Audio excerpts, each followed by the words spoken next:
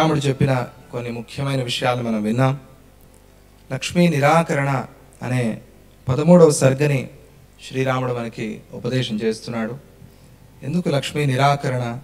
నిరాకరణ అంటే నేను వద్దనుకుంటున్నాను దీనివల్ల ప్రయోజనం లేదు దీనివల్ల అనర్థాలే ఎక్కువ అని శ్రీరాముడు చెప్తున్నాడు.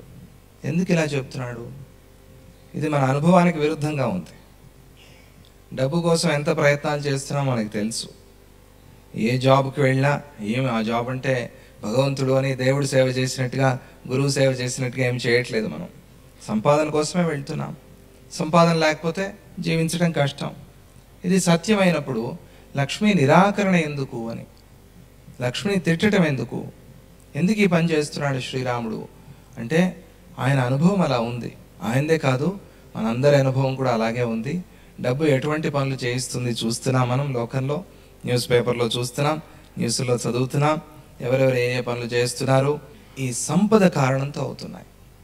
ఈ సంపద వీళ్ళకి అహంకారాన్ని మాయని కలిగిస్తోంది అని అందుకనే శ్రీరాముడు మనకు ఉపదేశం చేస్తున్నాడు. ఏమని ఉపదేశం చేస్తున్నాడు? సంపాదన చేయండి అని ఆమె ఆయన చెప్పలేదు కానీ ఈ సంపదలో ఉన్న దోషాలు ఏమిటి చెప్తున్నాడు. ఆ విషయంలో జాగ్రత్తగా ఉండాలి అని చెప్తున్నాడు. జాగ్రత్తలు చెప్పటమే. వేదాంత శాస్త్రంలో ఇవన్నీ చెప్పరు.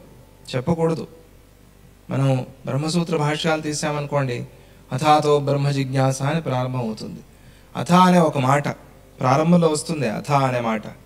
అథ అనే మాటకి ఎంత అర్థమో ఆ అర్థం అంతా యోగ వాసిష్టంలో ఈ మొదటి గ్రంథంలో చెప్తున్నారు. ఈ ప్రకరణం అంతా దాని గురించి చెప్తాం. అంటే మనం అక్కడ చదువుకుని వెళ్ళి ప్రవేశించి తర్వాత ఆ బ్రహ్మసూత్ర భాష్యాన్ని చదువుతాం. అని ఇక్కడ మనకి పునాది లేదే. అందుకే ఆ పునాదిని కల్పించడం కోసం. అది మన మనస్సులో వస్తే గనక దోష దర్శనం అంటారు. అంటే దానిలో ఉన్న దోషాన్ని చూడటం. గుణాన్ని చూసి పట్టుకున్నాం సరే దోషాన్ని చూస్తే కానీ విడవం మనం. దోషాన్ని చూపిస్తే కానీ విడవాలనిపించదు మనకి. అందుకనే దోషాన్ని విడిచిపెట్టడం కోసం దోషం మీద ఇంకా ద్వేషం కలగడం కోసం. గుణం మీద ద్వేషం కలగకూడదు. దోషం మీద ద్వేషం కలగాలి. ఆ ద్వేషం కలగటం కోసం పిల్లలకి ఎలా చెప్తారు? భయం కలిగేలాగా చెప్తారు. చూడు నువ్వు అది తింటే నీకు అంతే ఇంకా చాలా కష్టమైపోతుంది. ఆ పిల్లలకి అది వెళ్ళాలి అంటే దోష దర్శనం చేయించాలి ఆ సమయంలో చెప్తే వాడికి ఏదో దగ్గు వచ్చింది లేదా ఏదో తలనొప్పి వచ్చింది జ్వరం వచ్చింది ఆ సమయంలో చెప్తారు. సో ఆ ఐస్ క్రీమ్ ఎక్కువ తిన్నావు జ్వరం వచ్చింది. వాడికి గుర్తుంటుంది. ఎప్పుడో బాగున్నప్పుడు ఐస్ క్రీమ్ తింటే దగ్గు వస్తుంది జలుబు వస్తుంది అంటే అర్థం కాదు. అందుకనే ఇక్కడ శ్రీరాముడు మనకు అర్థం చేయించడం కోసం ఆ లక్ష్మిలో ఉన్న దోషాలని చెప్తున్నాడు. తెలపడం కోసం దోషాలని చెప్తున్నాడు. ఇవన్నీ ఉన్నాయి. ఇవన్నీ రానివ్వకుండా జాగ్రత్త పడాలి అని. ఇవన్నీ ఉన్నాయి సరే మాకేమిటి? మేము బాగానే ఉన్నాం కదా అంటే ఎవరికి ఎప్పటికైనా వచ్చే ప్రమాదం ఉంది. ఇవి శత్రువులు ఎవరి మీద ఎప్పుడైనా ఆక్రమణ చేయొచ్చు. ఎటువైపు నుంచైనా ఆక్రమణ చేయొచ్చు. అందుకనే జాగ్రత్తగా ఉండాలి అని అంటూ నిన్న కొన్ని విషయాలు చెప్పుకున్నాం. ఈరోజు ఆయన అంటాడు అందరికీ వైరాగ్యం కావాలి. వైరాగ్యం లేకుండా జీవితం ఎట్లా నడుస్తుంది? ప్రారంభంలోనే చెప్పుకున్నాం మనం వైరాగ్య లక్షణం ఏమిటి అని. వైరాగ్యం వల్ల కలిగే సుఖం ఏమిటి? దానిలో ఉన్న అనుకూలం ఏమిటి? అని కూడా చెప్పుకున్నాం. ఈ వైరాగ్యం లేకపోతే మనకు సక్సెస్ అనేది రాదు జీవితంలో. ఎక్కడో అక్కడ మనలో వైరాగ్యం ఉంది తెలియక వైరాగ్యం ఉంది. అది వైరాగ్యం అని తెలియదు మనకంతే. ఎందుకంటే ఆత్మ లక్షణమే వైరాగ్యం. అన్నిటికన్నా భిన్నమైంది కదా. అన్నిటికన్నా అతీతమైంది. దేంతోనూ కలిసేది కాదు. నువ్వు ఏ పాలల్లోనూ ఏ నీళ్ళలోనూ దాన్ని కలపలేవు. ఎందుకంటే అవన్నీ కూడా కలిసేవి కాదు ఇది అందులో కలిసేది కాదు. భిన్నమైంది. అందుకని దాని ప్రథమ లక్షణం కాబట్టి అందరిలోనూ ఆత్మ ఉన్నది కాబట్టి అందరిలోనూ వైరాగ్యం ఉంది. అది మనకు తెలియదు ఈ వైరాగ్యం వచ్చింది కాబట్టే జ్వరం రాగానే తగ్గించుకోవడానికి మనం చాలా ఇష్టమైన పదార్థాలు కూడా విడిచిపెట్టేస్తున్నాం. చాలా ఇష్టమైనవి. డాక్టర్ చెప్తారు ఏమండి తింటే మీకు కష్టం జ్వరం తగ్గదు అని. మానేస్తున్నాడు. చాలా ఇష్టమైన పదార్థాన్ని మానేయగలుగుతున్నాడు అంటే మనలో వైరాగ్యం ఉండబట్టే కదా. ఉంది అంటే దానివల్ల మంచిదవుతుంది అని కదా. వైరాగ్యం వల్ల మంచిదైందా చెడైందా? జ్వరం తగ్గింది కదా. ఆ, లేదు లేదు ఏమైనా పర్వాలేదు. నేను మాత్రం ఇది మాన్ వాళ్ళు మూర్ఖులు అజ్ఞానులు. అలా కూడా ఉన్నారు ప్రపంచంలో. నువ్వు ఈ సిగరెట్ మానకపోతే నువ్వు ఈ తాగుడు మానకపోతే చస్తావు అంటారు.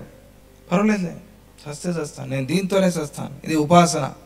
అనేవాళ్ళు చస్తావు అంతే ఎల్లుండి చచ్చేవాడు ఈరోజే చస్తాం అంతే ఆ వైరాగ్యం అనేది లేకపోతే కలిగే నష్టం హాని. ఆ హాని తెలపాలి కదా. అందుకనే పరమాత్మ ఇక్కడ మనకి తెలుపుతున్నాడు. హిమం వైరాగ్యవల్లీనాం. వైరాగ్యం అనే వల్లి లతలు ఉన్నాయి కదా. ఆ తీగలకి ఇది హిమంలాగా హిమం అంటే మంచు. మంచు కురిస్తే వాడిపోతాయి. పెరగవు అవి అలా దీన్ని కప్పేస్తుంది అది దీన్ని పెరగకుండా చేస్తుంది. పెరగకుండా చేస్తే ఏమవుతుంది? అవన్నీ పర్వాలేదులే. అంటే మనం ఏదైతే పొందాలో దాన్ని పొందలేకపోతాం. చాలా సంపాదించాం కానీ సంపాదన చేస్తున్నప్పుడు జ్ఞానం లేకుండా ఉన్నాం. ఆ జ్ఞానం లేకపోవటం వల్ల కలిగే అనర్థం హాని అది. అలాగే గుడ్లగూబ వికారాలనే గుడ్లగూబకి రాత్రిలాగా అంటాడు ఆయన. గుడ్లగూబకి రాత్రిపూట కనిపిస్తుంది. మనకు కనిపించదు మనం చూడలేం. మనం ప్రొద్దునపూట చూస్తాం అది చూడలేదు. దానికి రాత్రిపూటే కనిపిస్తుంది. అలాగే వికారాలనే రాత్రికి గుడ్లగూపులాగా వికారాలనే గుడ్లగూబకి రాత్రి లాంటిది ఇది. జాగ్రత్తగా ఉండాలి. అక్కడ మనం చూడకూడనివి చూస్తాము అని అర్థం. చూడాల్సినవి చూడటం మరిచిపోతాము అని అర్థం. అలా లేనంత వరకు పర్వాలేదు. మనకి ఆ సంపత్తు వల్ల హాని లేదు మంచిదే జరుగుతోంది అంటే ఏ ఇబ్బంది లేదు. సంతోషంగా ఆనందంగా ఉండొచ్చు. ఇలా జరుగుతోంది. ఇది ఒక అలారం. ఈ అలారం లోపల ఆ సైరన్ మొదలైంది అంటే అక్కడ జాగ్రత్త పడాలి. అందుకోసం ఇది. వికార ఉలూక యామిని అయిపోయింది సంపత్ అంటే అక్కడ జాగ్రత్త పడాలి. లేదు లేదు అక్కడ గుడ్లగోప రాలేదు మాలో. మేము రాత్రిపూట చూడట్లేదు పగటిపూటే చూస్తున్నాము. రాత్రిపూట చూడటం అంటే చీకటి అజ్ఞానం అని అర్థం. అజ్ఞానంలో మునిగిపోతున్నాము అని అర్థం. మునిగిపోనంత వరకు పర్వాలేదు సంతోషం ఆనందం. హాయిగా సంపాదించండి హాయిగా మంచి పనులు చేయండి ఆనందంగా ఉండండి పుణ్యాన్ని కట్టుకోండి.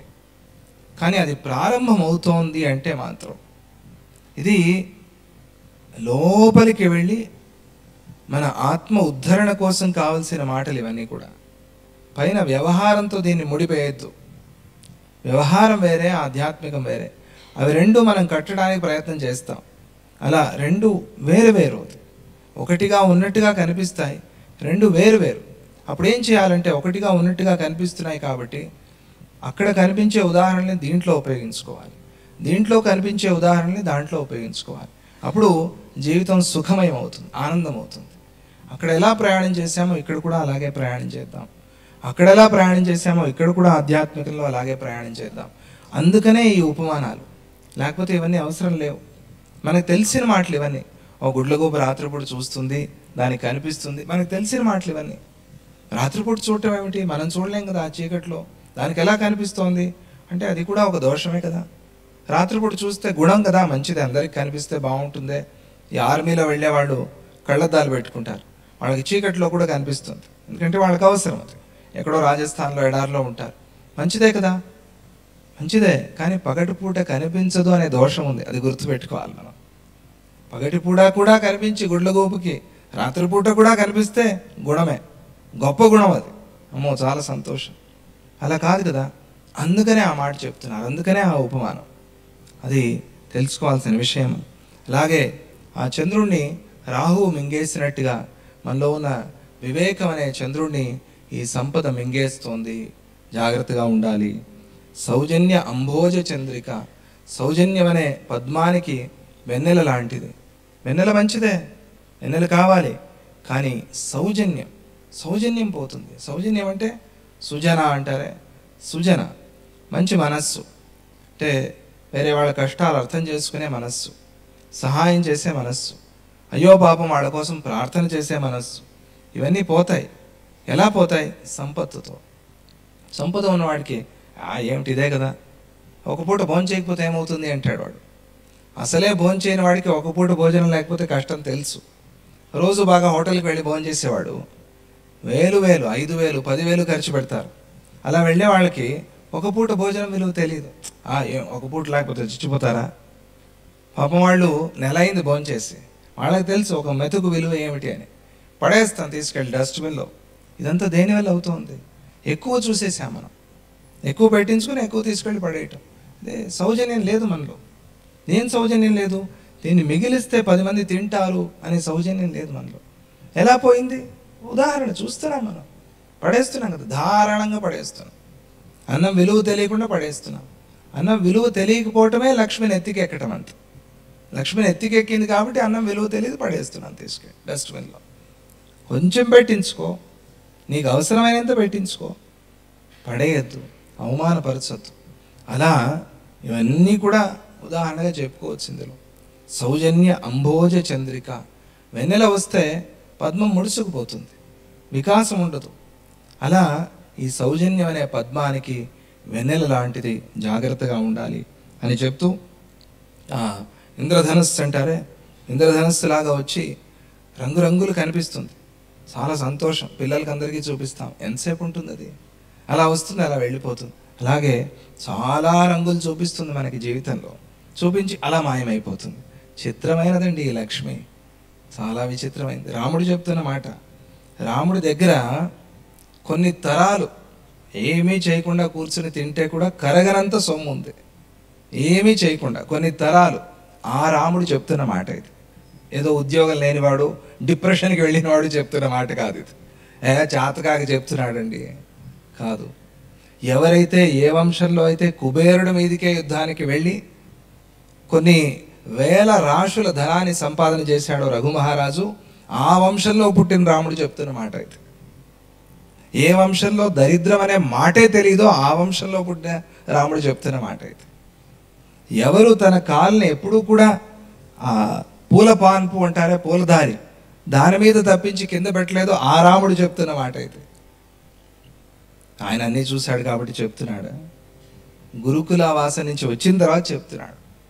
గురుకులంలో ఉండి గురుకుల క్లిష్ట అంటారు. ఆ గురుకుల క్లేశం తెలుసుకుని వచ్చాడు. అక్కడ ఉండే కష్టాలు ఏమిటి తెలుసుకుని వచ్చాడు. రెసిడెన్షియల్ స్కూల్లో చేరుతారు. చాలా డబ్బున్న పిల్లల్ని. ఎందుకని అంటే తెలియాలి అక్కడికి వెళ్ళి వాళ్ళకి. అక్కడ మళ్ళీ ఇన్ఫ్లుయెన్స్ చేయకూడదు మనం వెళ్ళి. మా పిల్లవాడు కొంచెం జాగ్రత్తగా చూసుకోండి. విడిగా భోజనం పెట్టండి. ఇవన్నీ చెప్తే పిల్లలు పెరగరు.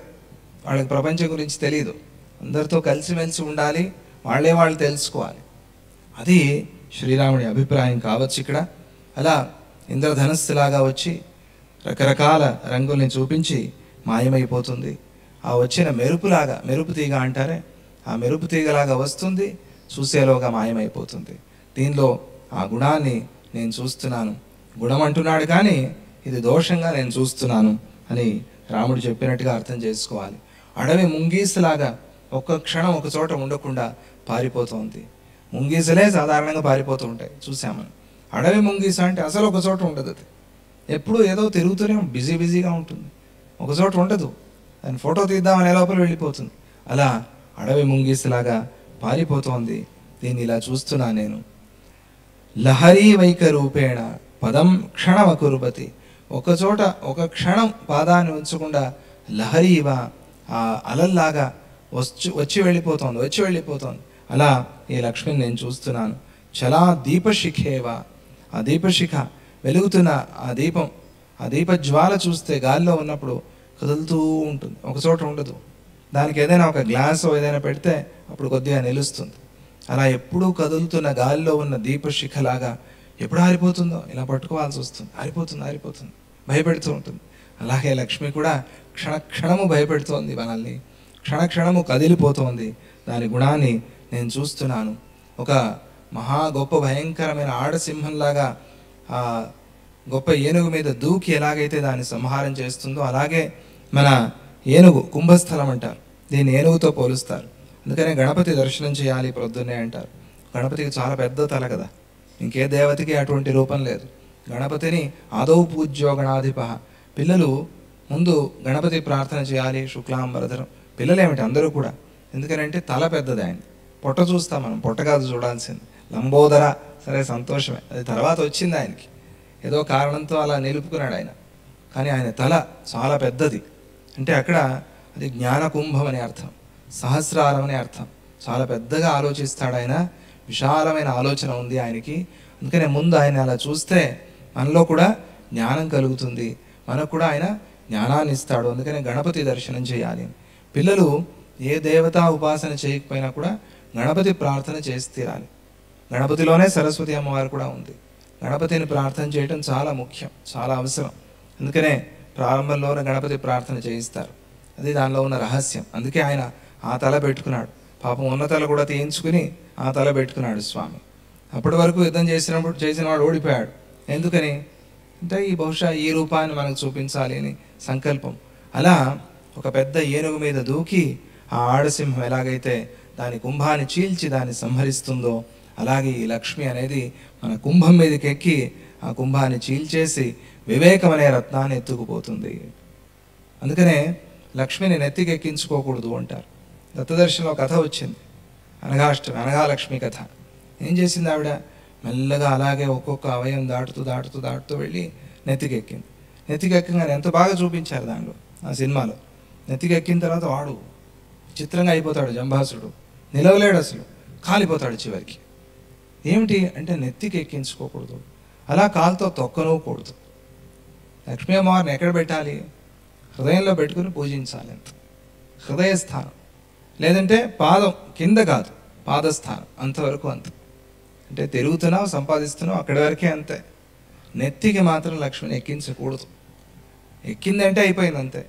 అది అసలు పనికిరాని స్థానం అని చెప్తారు.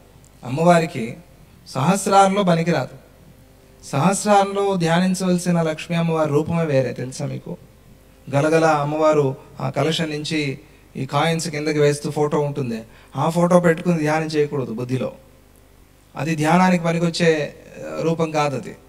అది మనం ఏదో ప్రార్థన చేసామా డబ్బులు ఇవ్వు అని ప్రార్థన చేయడానికే శాస్త్రం అది ఉపాసన దేవతలు ఒక్కొక్క చక్రంలోనూ మారిపోతూ ఉంటుంది వాళ్ళ రూపం.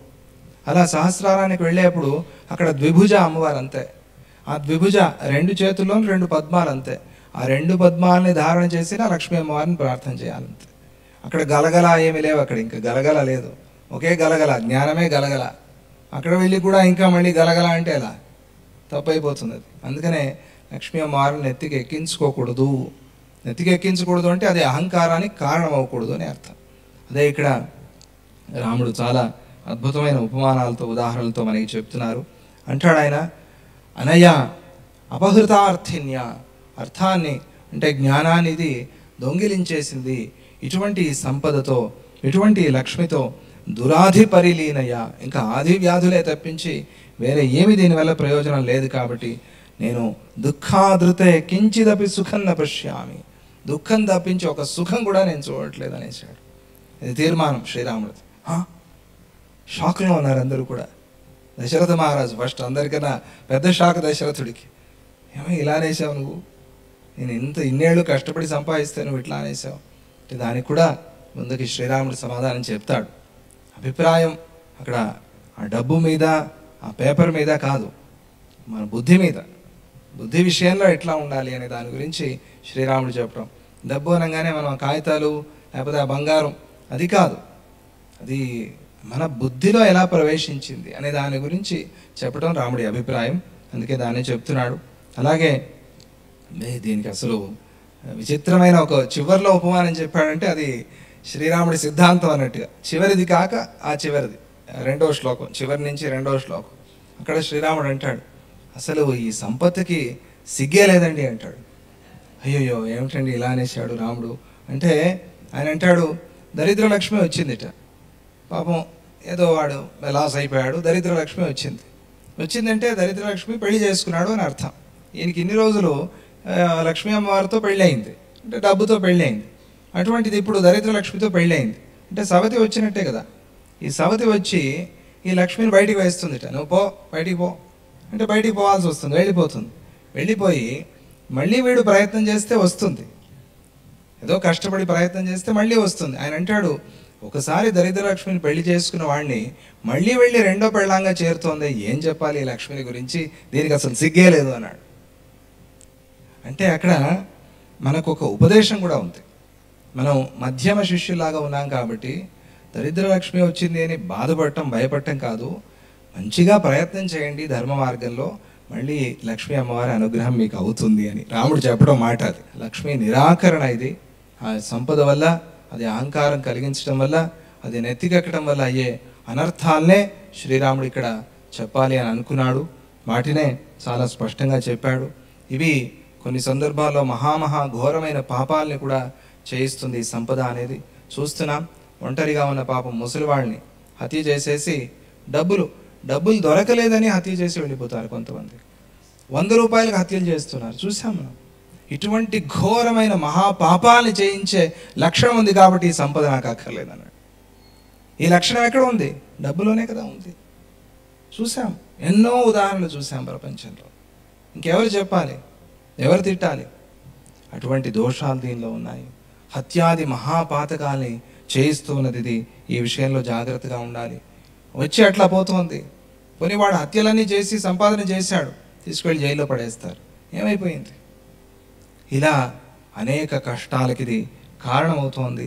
పాములున్న ఒక మహా ఆ ఎండు బావి నుంచి పాడుబడిపోయిన బావి నుంచి పుట్టిన లతల్లాగా పాములున్న బావిట అక్కడి నుంచి పుట్టిన లతల్లాగా ఇది నాకు కనిపిస్తోంది. లక్ష్మి సంపద అని శ్రీరాముడు లక్ష్మీ నిరాకరణ అనే ఘట్టాన్ని పూర్తి చేసి ఇక ఈ పద్నాలుగో సర్గలో జీవిత గ్రహణం అనే ఘట్టాన్ని ప్రారంభం చేస్తాడు. ఈ జీవిత గ్రహణంలో మొదటి శ్లోకాన్ని మనం చెప్పుకున్నాం కన్నడంలో. ఆయన జీవిత గర్హణం అంటే ఎందుకు ఈ జీవితాన్ని గర్హణ అంటే తిట్టడం అని అర్థం. జీవితాన్ని నిందిస్తాడు ఆయన తిడతాడు. ఇది సాధారణంగా మనకు నచ్చే మాట కాదు. ఎందుకు తిట్టాలి జీవితాన్ని? జీవితం వచ్చింది కాబట్టి ఇవన్నీ చూస్తున్నాం కదా మనం. పోనీ సాధన ఆధ్యాత్మిక మార్గం కూడా జీవితం వచ్చింది పుట్టాం కాబట్టే కదా. అంటే మహాత్ములు జ్ఞానులు అలా ఆలోచన చేయరు. పుట్టి మనం ఆధ్యాత్మిక మార్గంలో వచ్చామని మనం ఆలోచన చేస్తాం. అసలు ఎందుకు పుట్టామని వాళ్ళు ఆలోచన చేస్తారు. పుట్టామంటే ఏదో దోషం చేశాం కదా అని ఆలోచన చేస్తారు. ఇది జ్ఞానులకి మహాత్ములకి సాధారణమైన మనకి ఉన్న తేడా. మనది తప్పులేదు మనది సత్యమే మంచిదే. అంటే మంచికి వినియోగిస్తున్నప్పుడు జీవితం మంచిదే కదా ఆనందంగా ఉంది కదా. ఇది ఈ అనుభవం మనకి ఉంది. శరీరం ఆరోగ్యంగా బాగున్నప్పుడు బాగుంది అంటాము. బాగలేనప్పుడు ఏదైనా తలనొప్పి వచ్చి అచ్చా అసలు ఎందుకండి ఇది శరీరం? అంటాం. రెండు మాటలు మనమే అంటున్నాం. కాబట్టి మనకి తీర్మానం లేదు ఆ విషయంలో. సిద్ధాంతం లేదు మనకు ఆ విషయంలో. అనుకూలంగా మారిపోతున్నాం. దేశానుకూలంగా కాలానుకూలంగా శాస్త్రాన్ని మనకు కావాల్సినట్టుగా అనుకూలంగా మారుస్తున్నాం. అంటే మనకి సిద్ధాంతం లేదు అని అర్థమైపోయింది. మరి సిద్ధాంతం ఏమిటి? దాన్ని ఇక్కడ చెప్తున్నాడు ఆయన. మనకు లేదు. మరి ఆయనకి సిద్ధాంతం ఉంది దాన్ని వినాలి కదా మనం. అందుకనే ఆ జీవిత గ్రహణం అనే ఘట్టం చాలా ప్రధానమైంది చాలా ముఖ్యమైంది. అందులో ఆయన అంటాడు ఈ ఆయుస్ అనేది అందరికీ తెలిసిందే క్షణభంగురం అనే మాట వింటూ ఉంటారు అందరూ కూడా. ఆయుస్ అనేది బుడగలాగా నేను అంటాను బుడగ కూడా కాదు ఆయుస్సు. బుడగ అయితే చాలా సంతోషం. బుడగ లాంటిది అనుకోండి ఆయుస్సు నిజంగా మంచిదే. ఎందుకని? సముద్రంలో ఉన్న బుడగ. ఒకసారి ఆలోచించాను ఎందుకు బుడగ అంటారు దీన్ని? బుద్భుతప్రాయము అంటారు. బుద్భుతం అంటే బుడగ అని. దాంతోనే బుడగ అనే పదం వచ్చింది. ఆయుస్సు బుడగ లాంటిది అని. బుడగ లాంటిది అయితే చాలా సంతోషం చాలా ఆనందం. బుడగైనా పర్వాలేదు. అయ్యో టప్ అని పైలిపోతుంది బుడగ ఎందుకండి అంటారు మీరు అంటే బుడగ కూడా కాదు మన ఆయుస్ అందుకనే అంటున్నాను. ఎందుకని అంటే బుడగ ఎక్కడ పుడుతుంది? నీళ్ళలో పుడుతుంది సముద్రంలో పుడుతుంది. సముద్రం మీద ఉన్న బుడగనే తీసుకుందాం. ఆ బుడగ టప్ అని పగిలింది. పగిలి ఏమైంది సముద్రంలోనే కదా కలిసింది. ఆ నీళ్ళు వెళ్ళి సముద్రంలోనే కలిసాయి కదా. అలా టప్ అని పేలిన ఆయుస్ అయినా కూడా పరమాత్మలో ఐక్యం అయితే ఏ ఇబ్బంది లేదు. అలా అవ్వదు కాబట్టే మన ఆయుస్సు మన జన్మ బుడగ కూడా కాదు. బుడగతో కూడా పోల్చుకోలేం మన ఆయుస్సుని. అలా అయితే ఇబ్బంది లేదు. అబ్బా చాలా సంతోషం. బుడగండి. మళ్ళీ సముద్రంలోనే కలిసిపోతుంది. ఎప్పుడో అప్పుడు బుడగయ్యి బుడగయ్యి బుడగయ్యి చివరికి ఎప్పుడో సముద్రమే కదా అది మొత్తానికి. అలా బుడగగా కూడా పోల్చలేం మనం.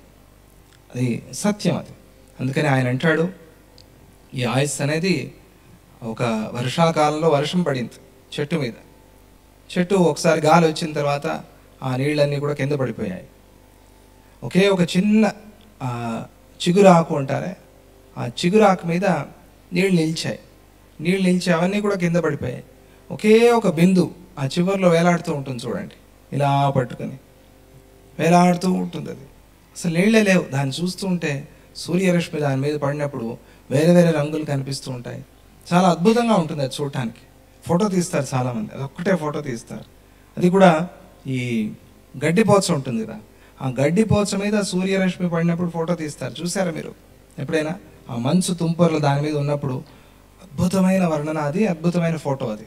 చాలా బాగుంటుంది. చిన్నగా క్లోజప్లో తీస్తారు. అదొక్కటే. అక్కడ అన్ని రంగులు కనిపిస్తాయి. ఇటు ఆకుపచ్చ అటు ఆ నీళ్ళలో సూర్యరశ్మి పడటం వల్ల అనేక రంగులు ఇవన్నీ కనిపిస్తూ చాలా బాగుంటుంది. అలా ఫోటో తీస్తూ ఉన్నప్పుడే చిన్న గాలి వచ్చిందాం చిన్నది. పెద్దది కూడా అవుతుంది. ఊరికి ఉఫ్ అన్నాం అనుకోండి. ఏమైపోతుంది? అసలే చిగురాకది. చాలా నైస్గా ఉంటుంది. చాలా సిల్క్ లాగా ఉంటుంది. టపక్ అని పడిపోతుంది ఛా! ఫోటో తీసే లోపల పడిపోయిందండి. అంటామే? అలా ఈ ఆయుస్సు కూడా టప్ అని పడిపోయే ఆ చిగురాకు చిట్ట చివర వేలాడుతున్న నీటి బిందువు లాంటిది అని ప్రారంభించాడు. ఇదిని గుర్తుపెట్టుకోవాలి. అలా ఎందుకని వర్ణన చేశాడంటే మనం ఎలాగైతే వెంటనే ఫోటో తీసేస్తామో ఫోటో తీయగానే ఏమైపోయింది? అది పడినా కూడా ఇక్కడ ఉంది. ఫోటోలో కార్డులో సేవ్ అయి ఉంది కదా? మన దగ్గర ఉంది అది మనం చూసుకుంటున్నాం. అలాగే ఈ ఆయుస్ అనేది పడిపోతుందో ఉంటుందో తర్వాత ఎంత ఆయుస్ ఉందో అవన్నీ కూడా తర్వాత ఆలోచన చేద్దాం. ఈలోగా మనం తీసుకోవాల్సిన ఫోటో ఒకటి ఉంది. ఏమిటి ఆ ఫోటో? జ్ఞానం అనే ఫోటో. ఆ ఫోటో తీసుకుంటే అది ఆయుస్ శాశ్వతంగా ఉంటుందంటే మనం నిత్య సత్యంగా ఉంటాం. శరీరం పోయినా కూడా నిత్య సత్యంగా ఉంటాం. అది ఆ పరమాత్మ శ్రీరామచంద్రుడు మనకి చెప్పాలి అనే ప్రయత్నం దాన్ని ప్రారంభిస్తున్నాడు. మొదటి శ్లోకంలో అలా వర్ణన చేశాడు.